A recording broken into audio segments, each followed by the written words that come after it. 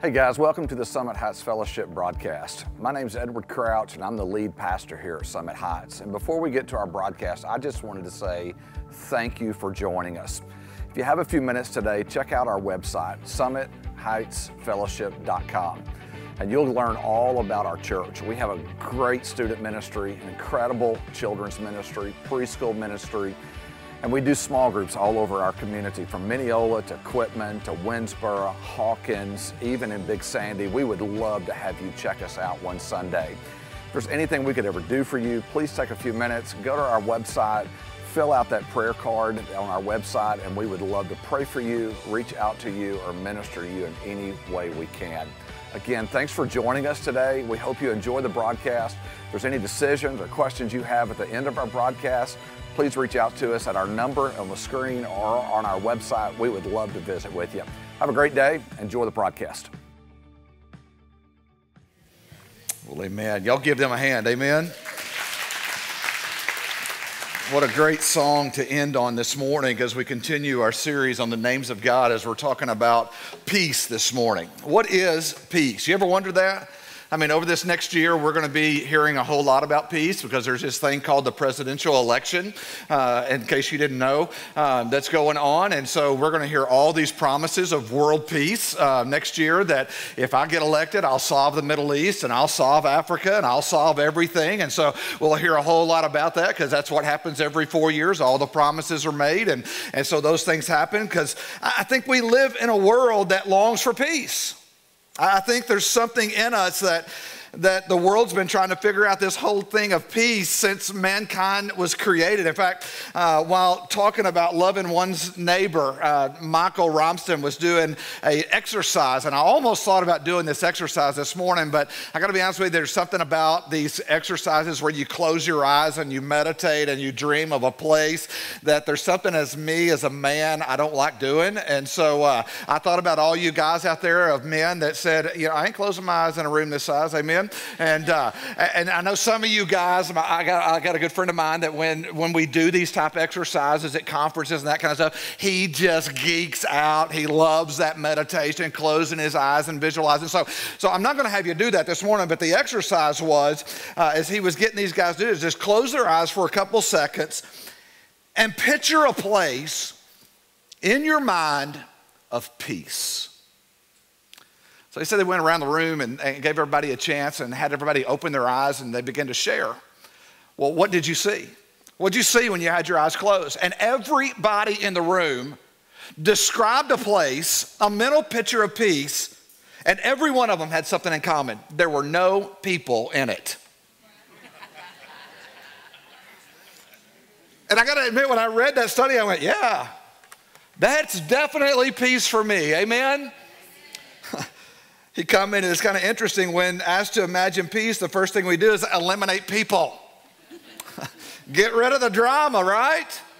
I mean, is that all there is to peace? It's just getting rid of the drama? I think one of the ways we can answer what peace is, is we can answer what peace is not. Because a peace that in our life is more than a truce. It's more than a ceasefire, so to speak, because some of you and your family chose a ceasefire years ago, and, and you know what's coming in two weeks, don't you? Thanksgiving. And even though you chose a ceasefire, Thanksgiving Day is not going to be peaceful, but nobody's going to say anything, right? It's just going to be that awkward moment at the table. Because if Trump gets brought up or Hillary gets brought up and blood pressure goes up, amen? Is that too close? Because I mean, like two people said amen on that, right?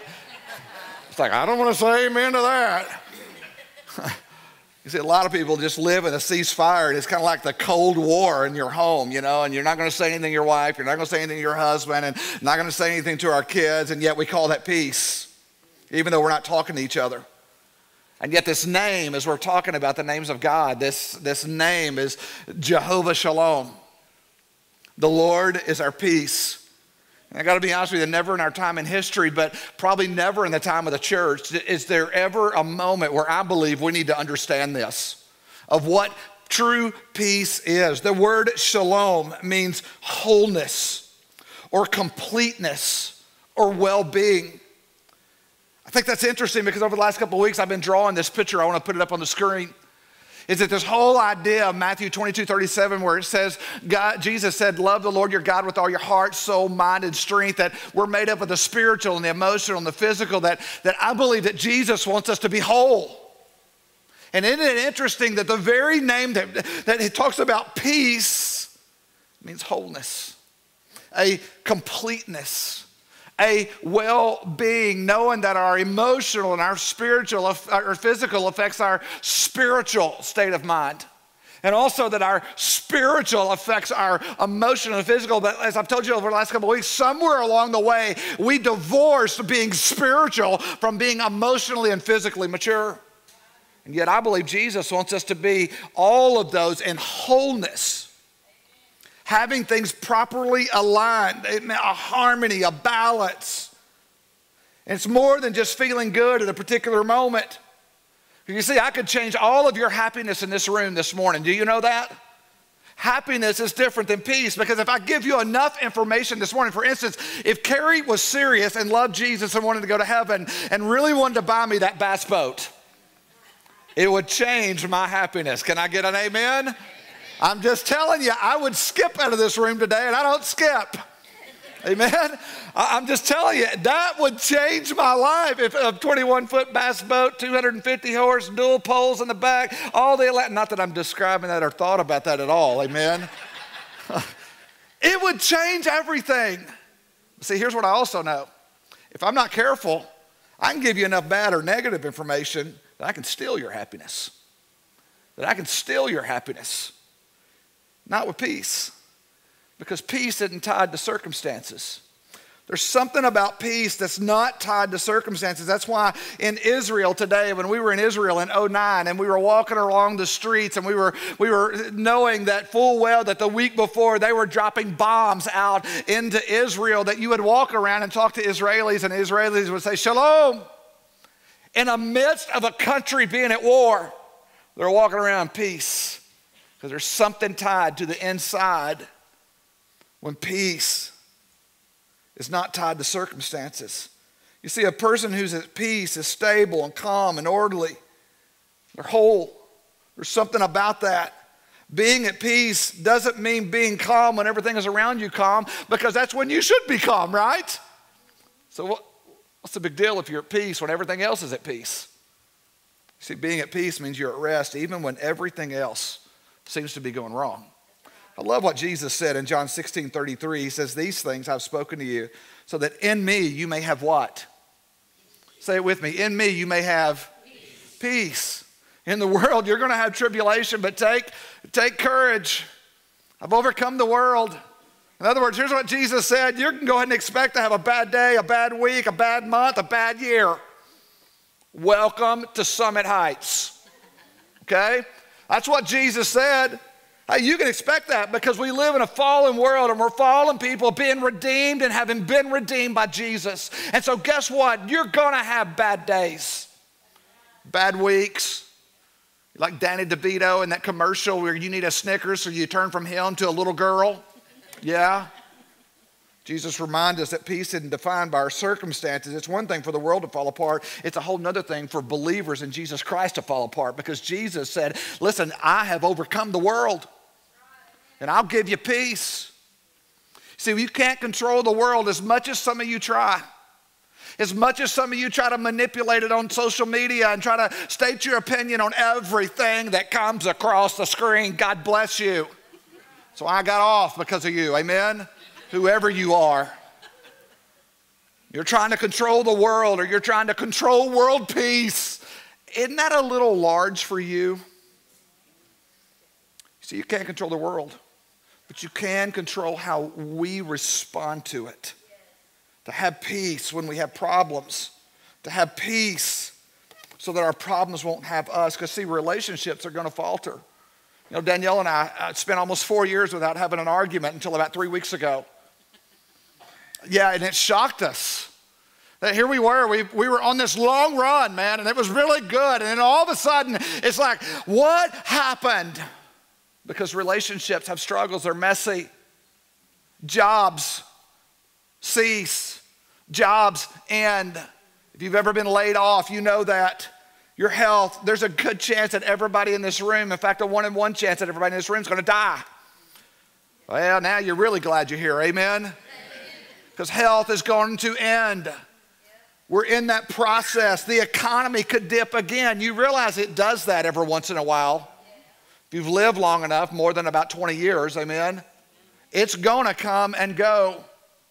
But take courage, Jesus said, because I've overcome the world and all the circumstances. So that brings us to a big question How do we enter into the name of God, Jehovah Shalom, right? How do we enter into that? How do we how do we move from this place of just no peace to a place where we begin to experience peace? And I believe it simply comes down to this that we stand firm in our connection to Jesus Christ. You see, as a church, everything is centered on the Lord Jesus Christ, the crucified Christ, the one who died for us, that hung on a cross, that took our sins. By the way, do you know his body became a grave for sin? Yes. Isn't that good? His body became the grave for our sin so that you and I could enter into that relationship and be at peace. That He ushers in the light where there once was darkness. We overcome our situation. You overcome it in Him. In Jesus. It's like when Peter was walking on the water. You remember that story? What a great story. When Peter was told, Get out of the boat, he goes, That's you, Jesus. Well, if that's you, you tell me to come on. He's like, Well, come on, big boy. Peter, well, he jumps out of the boat. And his spot on, locked on to Jesus. Not that you're Jesus, okay? Um, either one of you, you're both shaking your head like, yeah, I, I could be Jesus. Um, they were like, hmm. he locked on. When did Peter lose his peace? When he looked away. Something there. For those of us who know the name Jehovah Shalom, there, it brings something that eludes so many of us today. It, it, it, when we take our eyes off Jesus, for those of us who claim the resurrected Christ, for those of us who claim Jesus as our Lord and Savior, when we take our eyes off Him, we lose something called rest. You see, Shalom tells us that the secret to victory over life's drama is God Himself. I love Matthew 11, 28 and 29. Come to me, He says, all who are weary and heavy laden. Jesus invites us and he says, I will give you, say it with me, rest. Take my yoke upon you and learn from me, for I'm gentle and humble in heart, and you'll find rest for your souls. You know, if it was an app, iYoke, you would all download it, wouldn't you? You would just grab it. Because we're always looking for the simple fix, aren't we? It's more than the simple fix. It's fixing your eyes on Jesus. And I don't know about you, but often my thoughts disrupt my peace. You ever have those days? Sometimes it's just a matter of opening my eyes in the morning and my thoughts will disrupt my peace. I'm like, how does that happen? I've been, I've been asleep all night, and the moment I wake up, something as simple yet profound as realigning my thoughts with the truth of who Jesus is can change everything. So you got to transform what you think. Now, go back to that diagram that I drew you a couple weeks ago. You see, if we're going to realign the emotional and the physical, see, there's a temple maintenance that comes along with our emotional and spiritual that we, we take care of our body. But that word repent is us realigning our mind, what we think, because that word repent is the Greek word metanoia, which means to change your mind. See, some of you need to change your mind about your circumstances. Oh, they stink. Oh, they stink. I get it. But there's a metanoia that takes place as we change our mind, as we realign our mind with Jehovah Shalom.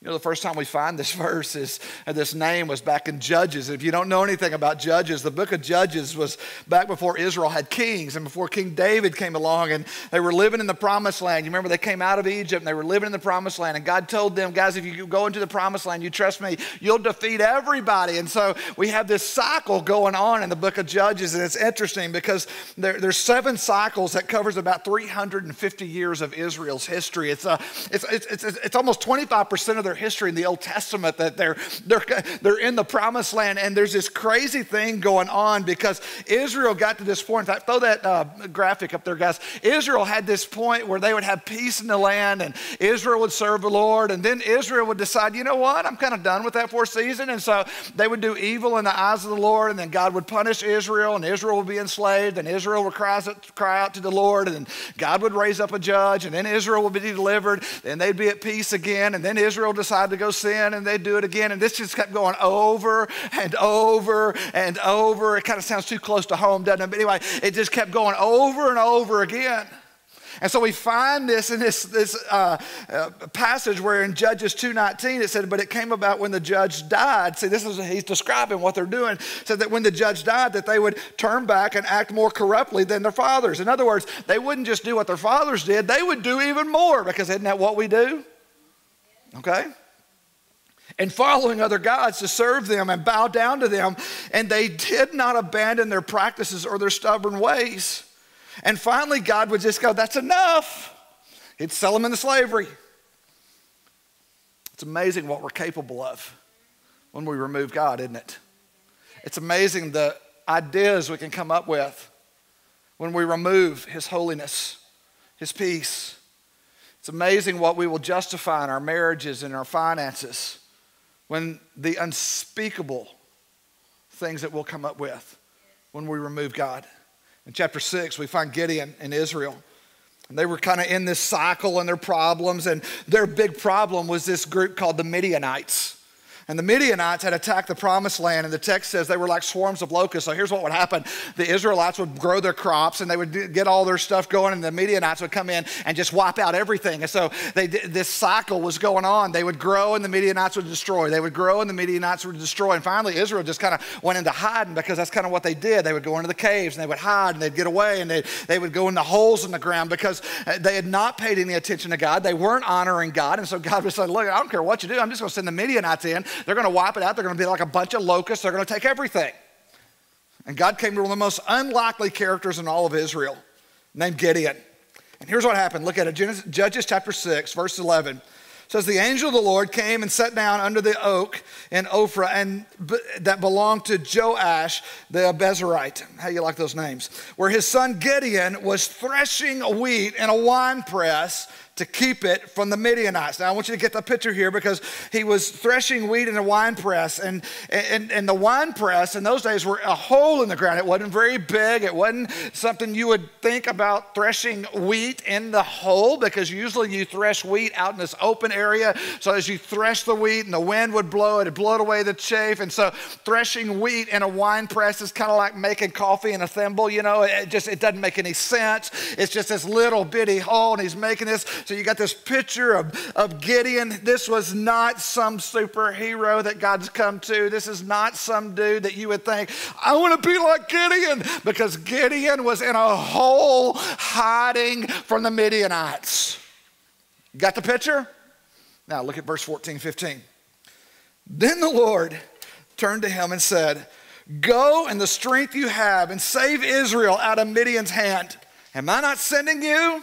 I love Gideon's response. Uh, pardon me. All week long, I've been looking at that going, I just, I love it. Uh, excuse me, Lord, um, I think you got the wrong guy. You ever said that to God? I think you got the wrong guy. Here's Gideon going, pardon me, Lord. Um, hello. I can't do this. How can I save Israel? And then look what he says. My clan is the weakest in Manasseh and I am the least in my family. You think the brother had a self image issue? I mean, think about this. He's sitting here and he's going, You, got, a, obviously you don't know. I'm a wimp. I'm the weakest in my clan. They pick on me. Okay, I'm not your man.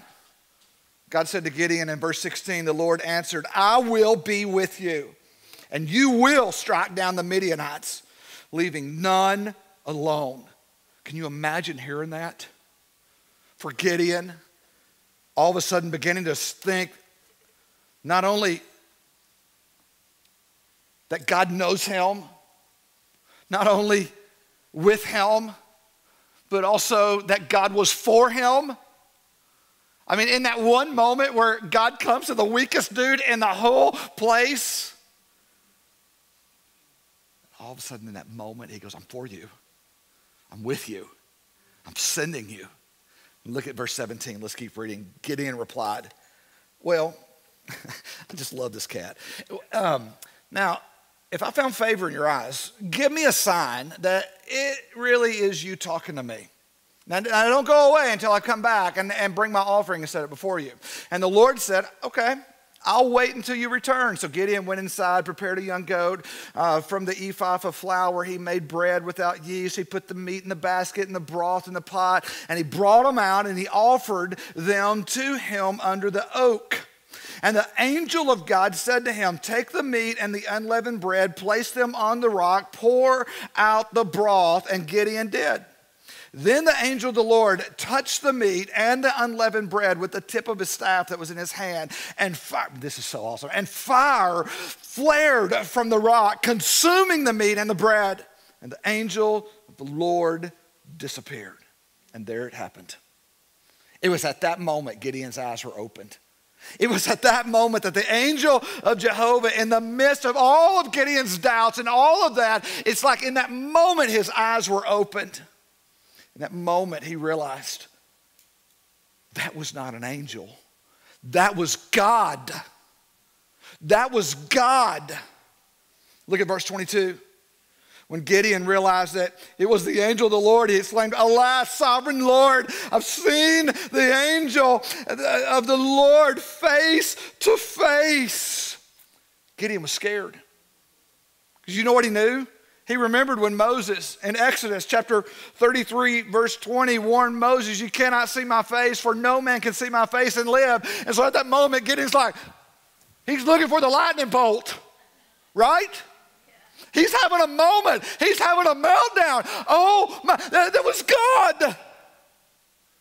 God opened his eyes. And immediately, look at verse 23. But the Lord said to him, Look at this, so good. Peace let that set a minute. In this moment of his greatest fear, in this moment that he thought the end was done, look what God says. Look at the graciousness of our Father. Peace. Do not be afraid. Do not be afraid. You are not going to die. And you know, Gideon went, he passed out. He didn't. No, I don't know he did. Can you imagine that moment, right? So Gideon, and this is so powerful. So Gideon built an altar to the Lord there and called it, The Lord is Peace. Now, don't miss this because notice that the Midianites were still their enemy. The Midianites were still destroying the crops. The Midianites were still out there. The Midianites were still ravaging the land. The Midianites were still overtaking Israel. And in the moment that he realized it was God, the problem had not been solved. But what did Gideon do? The thing I kid about this is, is yet before Gideon dealt with the issue in the physical realm, you know what he did? In that moment, he stopped and he worshiped. He built an altar. When's the last time you couldn't control what was going around you and you couldn't do anything and the world was crashing around you and you just stopped and worshiped? Oh man, come on. He made an altar to worship. And on that altar, he praised God for his peace. You are Lord God, Jehovah Shalom. And the world was still chaotic around him. Nothing had changed. Nothing had changed. Yet God showed up. Listen, with God, you can experience peace in any situation, but without Him, you can spend what you want, you can do what you want, you can go wherever you want, but listen to me, you will not have peace. That's why some of you sit here and you come to church every week, and there's just something in you that's never settled. It's because you've never trusted Jesus. Some of you in this room, it's not settled because you know what you're living in is not holy, it's sin. And that needs to be confessed and surrendered. You see, the best you'll ever get is deflection. The best you'll ever get is a diversion or a distraction. But if you want true wholeness, despite what's going around, uh, uh, going around it's only found in Christ Jesus, in His presence. All the odds change, expectations change, outcomes become dependent on Him, and they're not limited to what you can do. That all of a sudden, when we rest, when we put our eyes on Him, you see, the first time we see God as Jehovah Shalom, we see it in the circumstances of a man in fear. His peace is disturbed. Not only was his peace disturbed, he, remember he was in a wine press threshing wheat. Not only was he disturbed, he was fearful of what was out there. And then all of a sudden, God shows up and that scares the dog out of him. And yet, we find in that moment, when he thinks he's going to die, that when God opens his eyes, peace. And he begins to realize that he is a valiant warrior. If you go on and you read the rest of the story, you'll see what he does and what God does. He winnows down his army and, and ends up defeating the Midianites. It's a phenomenal story. I challenge you to read it, to go look at it. Israel rebelled against God. All through the book of Judges, we see this taking place. You know, Gideon didn't do it perfectly. In fact, if you read on, he, he then even tests God again, give me a fleece. Well, that wasn't good enough, give me another one. It's not like overnight, just because he saw God, just because he understood peace, that everything from that point forward went great. He still struggled. But something changed. Something changes in us. You see, when Israel would rebel against God and they'd go into enslavement and their enemies would triumph over them, you know, they'd, they'd come out of Egypt, and God told them, Look, if you'll honor me, if you'll keep your eyes on me, you'll defeat everybody in the promised land. And yet we find them in the book of Judges in rebellion, disobedience. The enemies that they were supposed to be defeating were defeating them. And the tables had turned on the very thing that God said, listen, if you'll trust me, I'll give you the promised land. And the tables had turned because out of their disobedience, that all of a sudden now they were being defeated and they would be defeated and then cry out and God would rescue them. And, and, and it's kind of crazy that we look at that back then and we look at Gideon and we look at Israel and we go, man, that's crazy. But yet the, the similarities of them and us are almost uncanny. It's crazy. We're fearful, we're slow to not trust. Yet when we find we draw near to Him, that He's there every time. Isn't that amazing? That when we draw close to Him, He's there every time. I'll never leave you, I'll never forsake you. From everlasting to everlasting, he is Jehovah Shalom, our peace. That God gave Gideon his peace despite the circumstances and the chaotic world that he lived in, which comes back to that question how do we, like Gideon, discover God's peace, that God is near? I mean, if His presence is the key to our peace, how do we abide in it? Do we have to wait for Sunday morning where we come and, and we get goosebumps on goosebumps? Man, that music was good. That preacher's just the best I've ever heard. I, I know. Okay. I'm kidding. Thanks, Nancy. I believe you. Amen. She's like mama to me. Amen. My mama's at home right now going, Amen. That's my boy. Do we have to wait till Sunday? You see, Paul's letter to the church in Rome, I think, gives us the secret. Look at it Romans 8, 5 and 6. And look at the contrast. He says, For those who are according to the flesh set their minds on the things of the flesh, but those who are according to the Spirit, the things of the Spirit, their mind is set on. For the mind set on the flesh is what? Yeah. Say it again. It's what? Yeah. But the mind set on the Spirit is life and what? Peace. Listen, you can put your mind on everything in this world. Paul is saying this if you want peace, get your eyes off the things you see on this earth and get your eyes on the things that are unseen Jesus.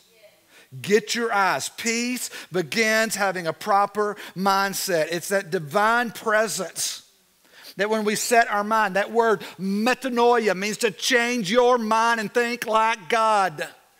That's what Paul's talking about. Quit putting your mind on all what could happen. Some of you spend more time worrying about stuff that will never happen. But you worry like crazy. Instead of setting your mind on those things of God that God promises those to keep us in perfect peace, whose mind is stayed on Him. As we begin to, to, uh, to uh, meditate on Him. You see, it's a mindset. That peace is the outcome when our mind is stayed on Him. And here's the principle listen to me. I want you to see this on the screen that disobedience disrupts peace, that obedience brings peace. And what accompanies peace is righteousness, right standing. Listen, the reason some of you don't have peace is because you're being disobedient to the Lord. You're allowing things in your mind and in your life and in your marriage and your finances and your job and all those things right now in your journey, and you're lying about it. You're lying to yourself, your spouse, those around you, your small group, you're lying to your church. And listen, long as you're doing that, then there is no peace. It's only through obedience. And obedience starts with repentance.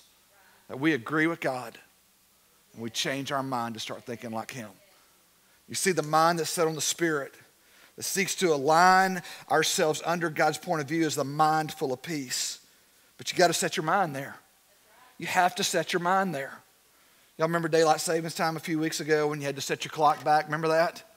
And in theory, we got an extra hour of sleep. How many of you guys actually stay up later on that night than anybody else like me? Because I'm thinking, oh, I get an extra hour. And then I laid down and I'm thinking, it's, it's really 10 o'clock and it's only 9 o'clock. And then midnight, I'm thinking, it's really 1 o'clock, but it's midnight, right? Right? And so I can't shut my mind off and all that. And you remember the day, because I know some of you guys, you don't have that thing on your nightstand called an alarm clock anymore because you use phones, right? And so you don't have to actually set your clocks except for your oven, your microwave, and everything else because they hadn't got that smart yet. And so you remember you had to set your clock back. And if you didn't, you were rudely awakened at the wrong time. You ever been rudely awakened at the wrong time? That'll set your mind at, uh, at no peace, right? Hate that when that happens. You see, if you're going to get up on time and you're going to do and you got to set your clock right. You see, the mindset on the spirit, that which seeks to align our thoughts underneath God's point of view, is the mind full of peace. So you got to set your mind there, Paul says. Or the alarm of life, the alarm of disobedience will wake you up. So you got to set your mind. Choosing where to set your mind, just like choosing to set your clock. A mind set on God's presence just as Gideon's was, brings peace, even when the Midianites are still around you. But the mindset on the flesh is death. Listen, the mindset on flesh is death. Let me say that again. The mind that's set on flesh is death, and that's separation from God. So, the mindset on the human point of view, the world's perspective, is what we would call a carnal mind, and it doesn't bring peace. But when you set your mind on the Spirit, you develop a habit of abiding in Him. Again, the principle is clear disobedience disrupts peace, obedience brings peace, and peace accompanies righteousness. It's kind of like that internal clock. See, I don't have to set an alarm anymore. How many of you guys don't have to set an alarm? You just wake up, right? It's because for so many, I know some of you are like, dead gummit. You retirees in the room going, dude, I've been retired a year and I still get up at three. Yeah. See, I don't have to set my alarm, but I do. But maybe you're like me. When you set your alarm, you wake up 10 minutes before. 51, 52. I really should go ahead and get up. Nope, I'm not. Not until 6. I'm waiting. 53. Anybody else, you know what I'm saying? It's because your body's trained. Can I just say this to you? Just as all those years you waking up the same time, you don't even need an alarm today. The same principle is true. The heart that's set on the Spirit of God and the things of God all of a sudden just become internal. Just who you are. Forgiveness just becomes who you are. Service just becomes who you are. kindness just becomes who you are. Love just becomes who you are. But listen, if you're not used to hanging out with God and setting your mind on the Spirit, then some of you in this room, I'm telling you, this is where some of you need to do. You need to proactively set your spiritual clock on the things of God. Right, See, Gideon wasn't the only guy who wrestled with this. You go back and you look at scripture Abraham, Moses, Joshua, David, Elijah, Peter, all the disciples, everybody struggled with that. How many times did Jesus come to him and say, Fear not? Fear not. Don't be afraid. Why? Because I'm with you, he says. I've got this. And it's not found in an iYoke app. You can't just download it. It's the mind that's set on him. Is anybody else worry with struggle with worry and fear in this room. In fact, I was reading in the New York Times a study that says scientists have found that in the Human Genome Project that we have this thing called the worry gene. It's the SLC6A4 gene on the chromosome 17q12. I'm not kidding. Okay? In fact, the people who have the short version of this gene are especially prone to worry. How many of you guys have the short version in here? Amen? Isn't that amazing? Now, here's what I'm telling you worry gets in our hearts, fear gets in our hearts. In fact, someone looked at the average person's anxiety. Look at this, this is crazy. 40% of the things we worry about that will never happen, 30% of the things about the past that can't be changed. We worry about 12% of things that, about criticism from others, mostly untrue. 10% about our health, which gets worse and worse. And 8% about problems that will be faced. You see, sometimes we wake up and we're tempted just to worry. I'll sit at my desk in the morning sometimes. I get a Google email every morning at 5 a.m. that gives me my agenda. And some days I look at it and just, well, crap. You ever say that? And then some days I look at Danielle and say, I'm going to eat all day. Man, this is awesome. I got a lunch and I got a breakfast, I got coffee, and I got a dinner tonight and another coffee this afternoon. It's like, dude, this is awesome. Don't have many of those. the problem is, I'll sit at my desk sometimes and I'll look at all those things and all the outcomes that I can't control my kids, my family, my relationships. And all these things are swirling, and it's just all of a sudden I realign my mind. God, you're enough. I think that's why Paul said, I can do all things. I can sit in prison while I write this. I can do all things.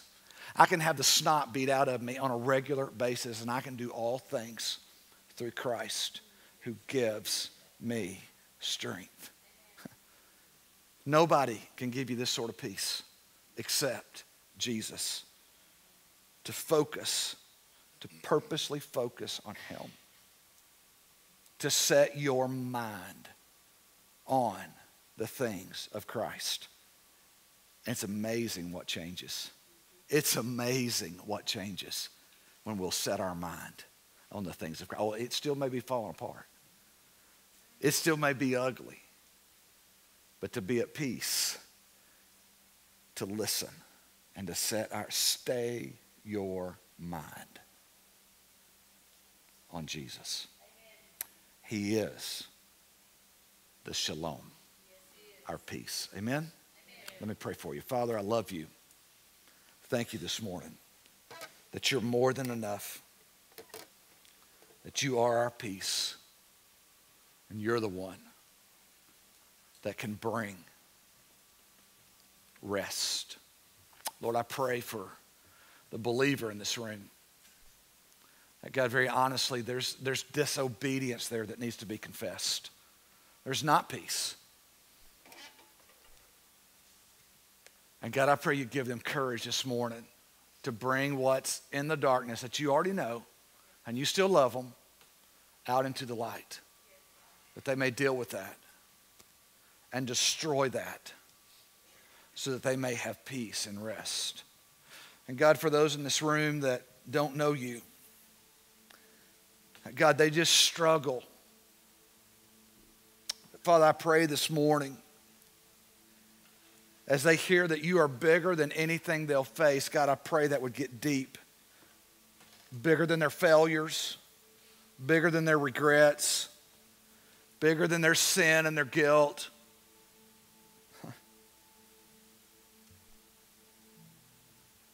God, I pray they would hear you saying this morning, if you'll let me, if you'll try me, if you'll open the door to your heart, I'll come into your life and I'll be your forgiver. I'll be your peace. Father, I pray you give life to someone this morning and give them courage as we respond, Lord, to maybe step out and grab one of these prayer warriors. Say, I need that. So, Lord, I love you. Thank you for the body, for the blood of Jesus Christ, for that body that became the grave for sin. and you took it where it belongs, hell, and left it there so that we would no longer have to live under its penalty. And you rose from the grave. Thank you for dying for us. We celebrate you and worship you today by taking communion, the bread and the cup. We love you. And we ask it in Jesus' name. And everybody said, hey, let's. Hey guys, welcome back. We hope you enjoyed the broadcast today. And if there's any decision you felt like God is leading you to make today, we would encourage you to uh, make that decision and to go online. There's a prayer tab on our website that you can go to. We'd love to pray for you. We would also love for you, if you accepted Christ today, to send us a text. We have a number at the bottom of the screen that you can text us the word accept if you accepted Christ, or if you would like to know more about baptism, just shoot us a text with the word baptize to that number on the screen and we'll get to you. I promise you. Hey, have a great day. And listen, if you're looking for a great church and you don't have a church home, come visit us one Sunday. We have two services, one 9, one at 11. We'd love to see you. Have a great week.